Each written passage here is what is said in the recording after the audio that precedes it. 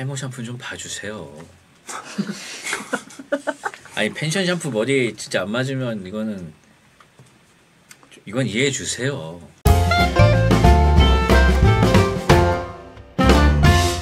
예. 예. 여러분 김주원님 거 소개해 주시죠. 엄마가 친척들 모인 자리에서 자꾸 제가 사춘기 때 말 안 들은 얘기를 하더라고요. 집에 와서 부끄러우니까 그런 얘기 하지 말라고 했다가 저도 감정이 격해져서 초등학교 때 엄마가 비비탄총 안 사줘서 서운했던 거, 다른 친구들이랑 성적 비교해서 속상했던 거 말하다가 싸웠습니다. 나이 마흔 가까운 나이에 이런 걸로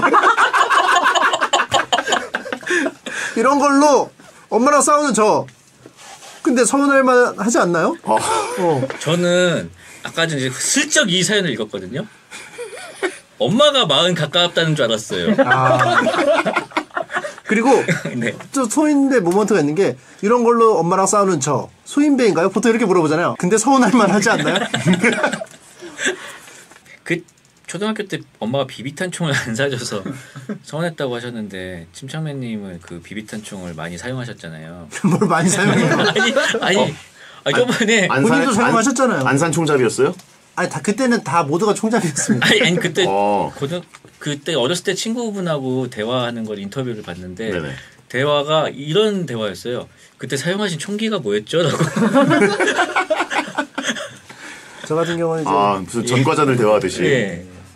뭐 여러 가지 있어요. 땡레타, 뭐 땡미스 웨슨, 뭐 아, 여러 가지 아, 있었잖아요. 명품 이탈리아 명품. 안산 존윅. 아, 예, 뭐 예. 땡, 땡저트 이글 뭐 이런 식으로 어. 뭐 여러 가지 뭐 모조품 같은 게 많이 나왔죠 비비탄. 네. 그렇죠. 그 앞에 주황색 그 들어가던 시절이었어요? 아니면 아니었어요. 그냥 새까맣던 시절? 예, 완전히 완전 새까맣던. 감쪽 같을 때. 아, 그쵸, 진짜.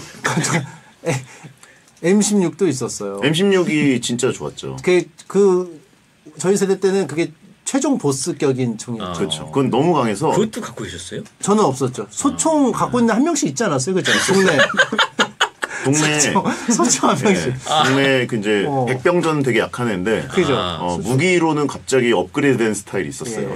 어디서 미군 무기 받아가지고 그리고 그 소염기가 빨간색으로 바뀌면서 그 다음부터는 이제 안 사셨다고. 네. 그런 거 쓰느니 안 쓰죠. 아니 그래서 네. 제가 궁금했던 거는 어, 떻게그 총기를 사그 장만하셨는지 어머니께서 사주셨는지. 저는 그때 예. 그, 그 스티커 그 배달을 했어요. 스티커 배달은 뭐예요? 그 무슨 점포에 네. 뭐 통닭집이나 뭐 이런 데 보면은 그 스티커 있잖아요. 예. 아, 네. 메뉴가 적혀 있는 어, 스티커. 네. 그래서 네. 그집 앞에 막 꽂혀 있잖아요. 아, 아, 그거 네. 이렇게 그 전단지 돌리는 전단지 뿌린 거네요, 사실상. 그러니까 점포에 가서 영업을 예. 합니다. 네. 아, 어. 우리 할수 있다. 음. 아, 그럼 몇- 뭐 100장 좀, 아, 100장 더 주세요. 더 할 수 있습니다. 음. 해 가지고 이제 돌리는 거죠. 아, 그거를 그걸로 총기 반입을 했다. 한 장이 이제 10원 꼴로. 10원 꼴로. 어, 그러면 진짜 수만 장을 돌려서 총기를 구입하기 위해서. 그쵸, 예. 힘들었죠. 어, 어, 린 누굴 나이에. 쏘기 위해서 그렇게 친구들을 쏘기 위해서. 친구 저격을 위해서 아 그렇게 또 총기가 고장이 잘 나가지고 아, 그총 쏘는 구멍에다가 비비탄을 집어넣었어요. 이렇게. 아 화승총처럼 옛날에. 예. 그래서 장전하고 쏘고 한 발 한 발. 아 그 추노처럼. 예. 추노처럼. 그쵸 이게 그 엿보기처럼. 탄창이 고장 나면 이걸로 하는 불쌍한 애들이 있었죠. 예. 하고 근데 예. 불쌍하다기보다는 그 상황에서도 그렇게 해서라도 쏴야 하는. 그죠. 좀 이제 입에 하나씩 넣기 귀찮으니까 많이 넣고. 그래서 많이 넣고 하니까 일단 맞는 애가 더러워요. 야 생각났다 생각났다. 켜져 있어. 근데 그때 당시는 이제 생각을 못 했는데 아, 맞아, 맞아, 나중에 맞아. 생각해보면 맞는 애들이 기분, 기분이 썩 좋을 것 그렇죠, 같지 아니. 심지어 그것도 땅에서 주워서 넣지 않습니까? 예. 네, 그거를 그때 당시에는 비비탄을 따로 사질 않아요. 그 사면 되게 희- 희한하게 쳐다볼 때였어요. 예. 음. 무조건 다 주워서 운동장이나 걸 입에, 입에 넣어서 넣어서 다시 장전. 그리고 그냥 입에 잠깐 넣어서 넣는 게 아니고 예. 머금고 있다가 예. 그래서 어렸을 때 안 아팠던 거예요. 약간 면역이 겐- 되니까. 겐지즈 예. 메타인 거죠. 아 사실상 바이러스전이었어요. 화학전까지 겸한. 네. 요즘에 총싸움 잘 안 하니까 예. 면역력이 많이 떨어졌어. 그렇죠. 아 아이들이 이, 우리 때보다 조금 요즘 애들 게임만 하고 많이 아픈 이유가 키보드만 두들기니까. 다들 게임기 대신 다시 총기를 쥐어야 한다고 생각합니다. 총기 규제가 이게 그 없어 보이게 또 예, 맞습니다. 그리고 보니까. 그 탄창을 다 고장 내야 돼요. 입으로 넣어야 돼요. 화승총식으로. 그래야 건강해진다. 아하. 익명 이님 거 주호민 작가 소개해 주시죠. 네, 중학교 때 친구 4명이랑 1년에 한번 2박 3일 정도 펜션에서 놀다 오는데요. 마트에서 장을 넉넉하게 보고 남은 음식은 개인차로 항상 운전해주는 친구가 가져갑니다. 렌트비 주유비 대신으로요. 근데 언제부터인가 이 친구가 장 볼 때 자기 생필품도 슬그머니 계산하더라고요. 펜션 샴푸가 자기 머리에 안 맞는다고 비싼 탈모 샴푸 사고 차 방향제가 떨어졌다면서 방향제도 사고요. 아하. 짜증이 나서 탈모는 없는데 탈모 샴푸 듬뿍 짜서 머리를 자주 감았는데요.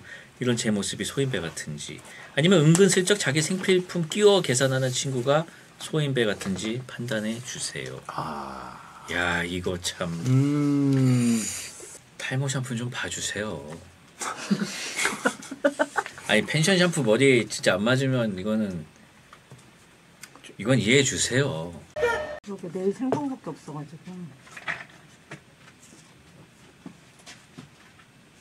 다음 언니 주 조- 게스트 언니. 조아리예요? 조아리 아니 별명 그만 어, 만들어 주셔도 돼요 조아리는 뭐예요? 뭔가 조아리는 느낌인가? 아니 아니요 그것도 이게 또 설명이 긴데 어, 근데 내가 이제 그 본인이 설명하는 게 너무 웃기네. 내가 오마이걸의 비밀 정원 노래를 좋아해서 아 그래서 조아리네 비밀 정원이라 했구나.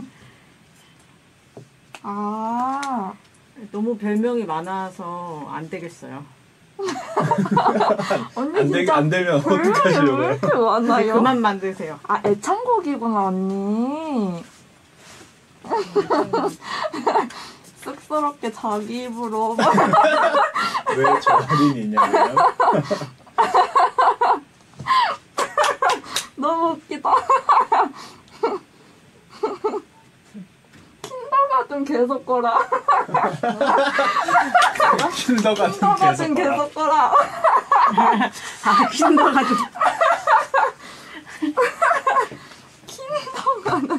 고 킨더가는 어, 누구나 킨더가든 될것 아, 같아 너무 웃기다. 조더가든 조나가는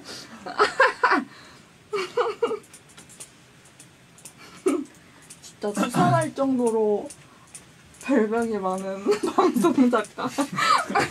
이렇게